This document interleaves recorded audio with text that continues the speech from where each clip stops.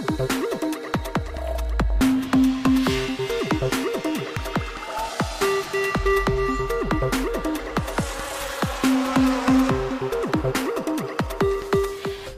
Tal? Mi nombre es Erika Moreno y estas son las noticias más relevantes del día en un minuto. La presidenta del Instituto Estatal Electoral de Sonora, Guadalupe Tadei Zavala, reveló que durante la operación del programa de resultados electorales preliminares se registraron 28 millones de visitas al sitio, de las cuales 23 millones de estas fueron con la intención de tumbar el sistema o bien alterar el contenido y la información del mismo.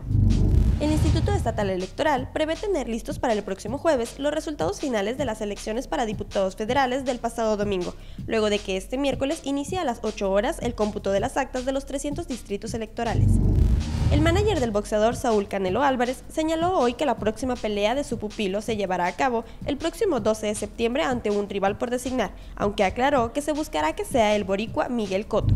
Paulina Rubio se convirtió en la burla en redes sociales luego de pensar que el hashtag Pau2015 era una entusiasta campaña de sus fans para promocionar su nuevo sencillo Mi Nuevo Vicio, ya que en realidad se trató de un trending topic que hacía alusión a la prueba de acceso a la universidad para miles de estudiantes en España. Mantente siempre informado visitando nuestra página de internet www.enfoquenayarit.com y suscribiéndote a nuestro canal de YouTube.